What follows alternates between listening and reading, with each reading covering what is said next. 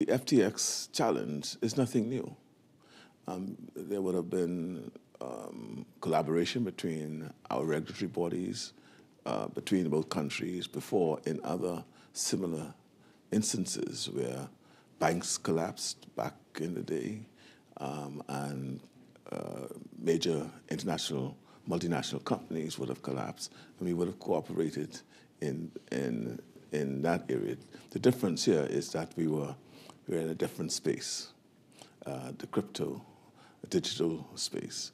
Unfortunately, we do have a legislative regime that was that is in place. Um, our our regulatory body worked uh, very closely with the U.S. regulatory bodies in all these uh, in various matters. They collaborate um, very often in matters of concern that that's cross-border issues.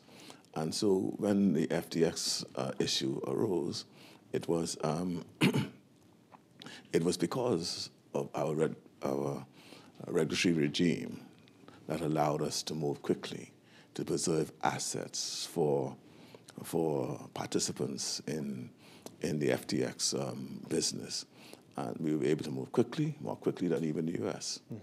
Um, and, I, and I dare say that perhaps our regulatory regime in respect to this space is probably more modern than the U.S.